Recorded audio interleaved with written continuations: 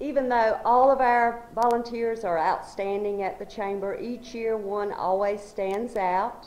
And for everything you do to document our chamber and the services we provide for our business community, we'd like to present you with our 2014 Volunteer of the Year Award. Oh, thank you very much. I appreciate that. Speech. I want to thank the Academy uh, and all the members. Uh, the Conway Chamber of Commerce is a very unusual group, uh, hardworking, and I think uh, Bruce has said it many times, not very many in number, but tremendous in effort and the ability to get things done.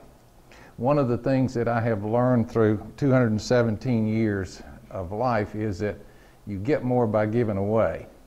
So I encourage you as chamber members or others to contribute. Get involved in the chamber and do your part. You'll be rewarded for it. Thank you very much. Thank you for that. So we'll have a little, we'll have, we'll have a little commotion. Thank you.